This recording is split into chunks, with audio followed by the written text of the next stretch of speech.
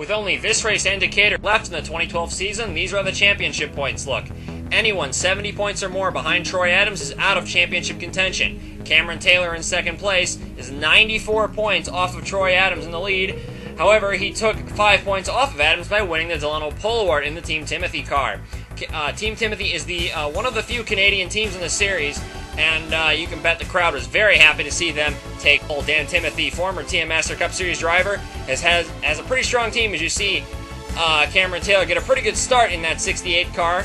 Uh, the Team Timothy car was not regarded as one of the prettier cars earlier in the season. However, that changed once they used a different shade of green on that car. So uh, clearly, um, the uh, Team Timothy is done torturing everyone's retina, and they are worried about speed this season, much to everyone's relief. Here is Jim Hayes in the 07 car, making a dive bomb in turn one, and Buffy Boria now is running Hayes into the grass. So those two aren't playing nice uh, with each other, and that's creating a bit of a stack up back here.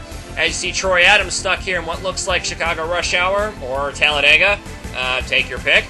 Uh, Adams in the 9 car can easily lock up the title if he uh, just sort of uh, plays it e- uh, plays it patiently and gets into the point. However, he didn't qualify terribly well, and it looks like he's uh, not really worrying about being patient. He is trying to charge through the field in this 20 lap race.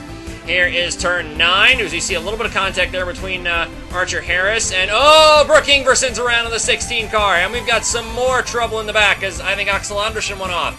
That's um, Alec Collada in the 27 right there, side by side with uh, uh, James Davis at the 29 car, who's been pretty quick this year. Here's Roger Kendall, the blue and, uh, or rather, pink and black two cars. He gets punted by Nasa Tsunamachi, Dexter Hamlet, Zach Goddard, and oh! Joseph Cummings fails to recognize that Gott's car is, in fact, a solid object and piles right into him. Heavy damage to the 71 car. Here is Troy Adams in the 9 car. Took it very, very, uh, took it very easy in turn 9 in that uh, car number 9, so uh, he's got a lot of cars in front of him that he doesn't really want to see there. Oh, big, big stack up here in turn 12 as cars are going all over the place, and I think Lang Chung Kun's got some damage in the 6 car a couple of cars taking evasive action there, but Troy Adams in the 9 car is clearly trying to carve through the field as quickly as he can, get himself enough points to lock up the championship today instead of taking it to Decatur. But um, Adams in car number 9, he's working on Dexter Hamlet and Joseph Cummings. Both of them have proven themselves to be uh, sort of weapons of mass destruction on track this year, especially Hamlet. Here is Martin Baltno Jr. in that a blue and black 96 car. And then one of the Roddick oh, whoa, Eric Molina in the 21 car just hooks and turns the 96 car around. Uh, that was rather uncalled for. Eric Molina has not exactly been fast this season, and uh, Baltno, the winner at Peoria early in the year. Oh, Motoko into the pits. Car number 40, one of the title contenders, Motoko, into the pits early. Motoko has some damage. Here's another driver who's been uh, sort of bouncing off all the walls this season, Claire Aussier. Uh, she's been a bit of a weapon of mass destruction.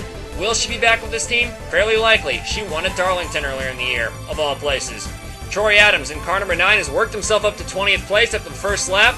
Oh, he jumps the curb. Oh, he gets hit by Thurston Blood. Oh, he loses it. That's not what he needed to do. Troy Adams throws it off the course, and I think he's gotten it stuck in the sand trap. Troy Adams, disaster for the Australian, who's been uh, had a massive lead in the championship, but it's all sort of fallen apart in these past couple races, slowly but surely. Troy Adams, let's see what happened here. And it looks like he got on the curb and got just hit the side of Thurston Blood. I'd have to say that was sort of Troy Adams trying to outbreak the one car and just lost it a little bit after jumping the curb. But that's just sort of one of those unfortunate racing incidents and a mistake that he made. Oh, Joseph Cummings getting punted off the course because of the uh, 22 car Mark Blackwell, who won at New Hampshire in the Unit 11 car. So Joseph Cummings, who's had a disastrous season, his race not going uh, too well either.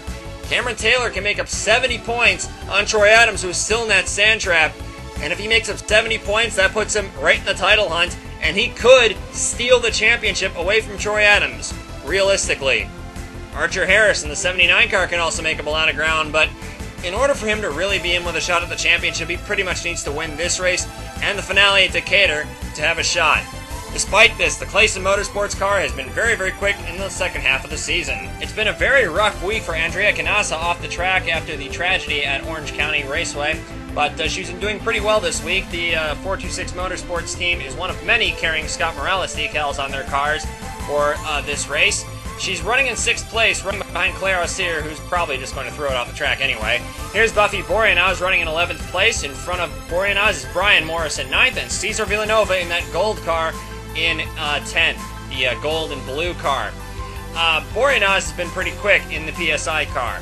Here's John Jefferson in 14th place, and he's going to be out of a drive at the end of the season. He's doing a good job auditioning for a, dr- a drive, but uh, a bit late to do that, perhaps. Mark Blackwell back in 25th place. So a little bit of an accordion effect there between Eric Molina and Ike Durbin.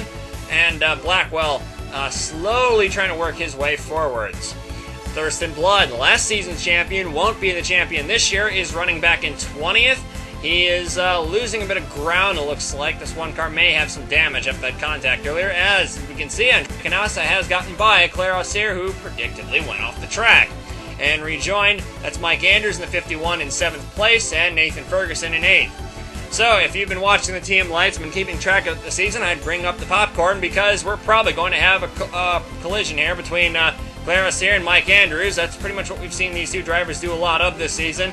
The only driver to uh, crash more than the two of them is Ryan Griffin, and uh, his license has been revoked, and I don't see him getting it back anytime soon. Anyway, oh, they're actually racing clean. Well, that's a shock. I'm not quite sure what to say to that. Anyways, Troy Adams has rejoined the race. However, he is two laps down in 36th place. Uh, Troy Adams, uh, well, his disastrous uh, disaster day continues. Cameron Taylor in car number 68 pits on lap six. Uh, that's you, as you can tell, these cars don't have very large fuel cells. TM Master Cup Series cars don't have large fuel cells either. Anyway, here is car number 29, James Davison, who's running in second. Oh, contact in the pits between Davison and Ali Collada in the uh, in the 27 car. That is definitely going to hurt uh, the Davison car. There's a lot of left front suspension damage in that car. Nathan Ferguson stays out an extra lap. He's hoping to gain a lot of time on Cameron Taylor in this way.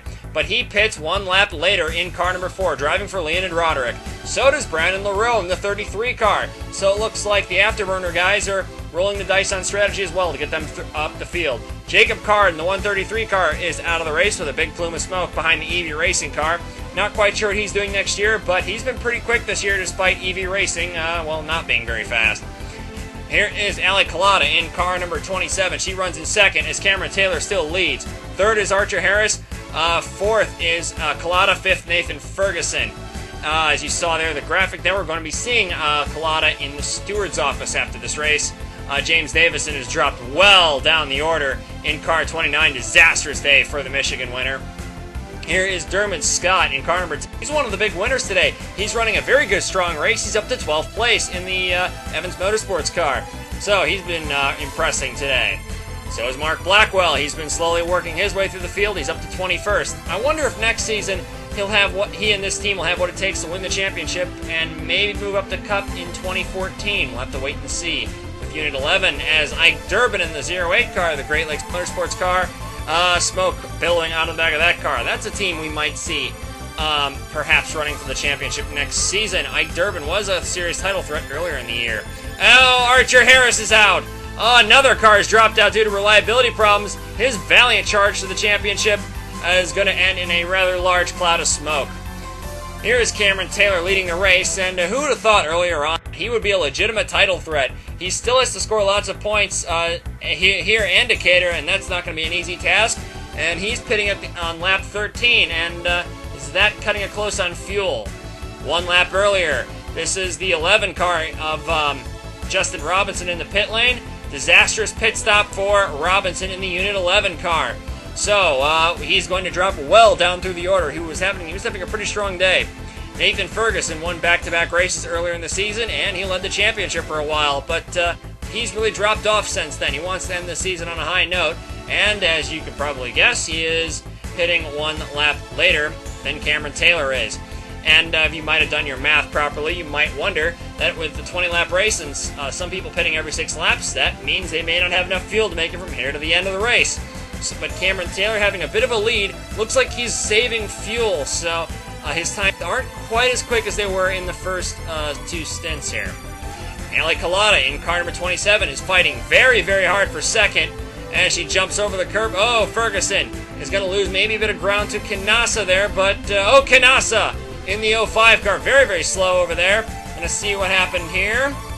Here's Andrea Canassa in the 05 RB car, who's having a very, very good showing today. Oh, just gets him way too hot, tries to avoid Ferguson, and unlike Troy Adams, doesn't throw it off into the boondocks.